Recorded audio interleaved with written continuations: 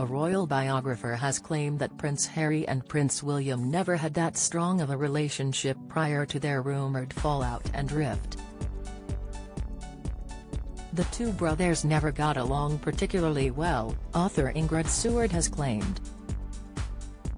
Over the past year in particular, rumors about their frosty relationship has been rife following Harry and Meghan Markle's bombshell interview with Oprah Winfrey where they suggested some members of the royal family were racist and unaccepting.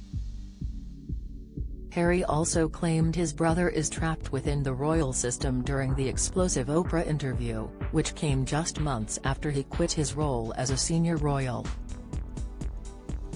Although Harry travelled back to the UK from California earlier this month for the Queen's Platinum Jubilee celebrations, the two brothers were not pictured together and it's believed they didn't meet up in private either.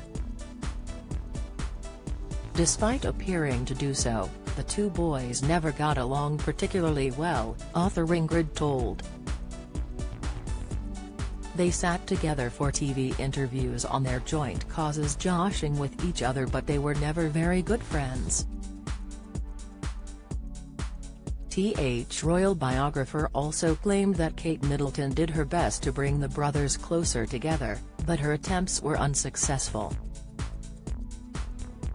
Kate went a long way to encourage their relationship and although William has always looked out for Harry, he feels at the moment there is nothing more he can do, she told. Instead, he is concentrating on what he knows he can achieve rather than wasting time on things he can't change.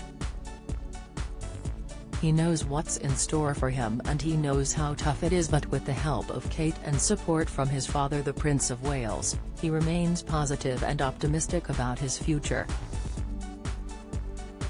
Harry first hinted at tension between him and William during the October 2019 ITV documentary Harry and Meghan, An African Journey when he mentioned having both good days and bad days with his older brother. The following January, Harry and Meghan announced their plans to step down from their senior royal duties and split time between the UK and the US.